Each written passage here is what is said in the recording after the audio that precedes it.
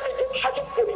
তাদের সুযোগ নিয়ে ওদের থেকে এখানে নিয়ে নেয় হ্যাঁ? কি উদ্দেশ্য হয়েছে? চুপ করে যাবে না বলো। কি উদ্দেশ্য হবে? স্যার আমি ওদের ভালো করতে চেয়েছিলাম। আসলে ওর বাবার অনেক দেনা ছিল তাই আমি ওকে আমার সাথে কলকাতায় নিয়ে আসি।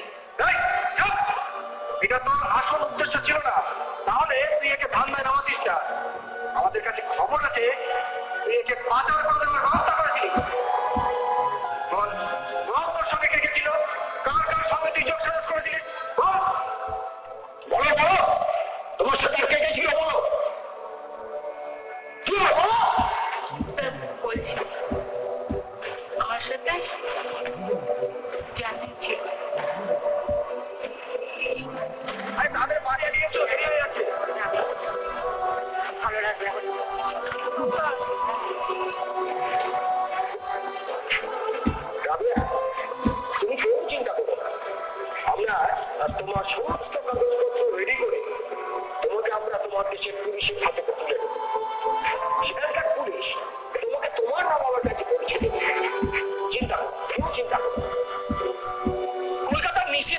থেকে বটতলা থানার ওসির নেতৃত্বে উদ্ধার হলো খুলনার মেয়ে রাবেয়া।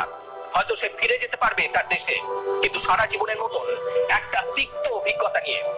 আমাদের প্রতিবেশী দেশ থেকে এমন নিষিদ্ধ পল্লীতে এমন অনেক অনেক মেয়ে আসে। পাচার হয়ে হারিয়ে যায় এই পতিতা পল্লীর অলিতে গলিতে।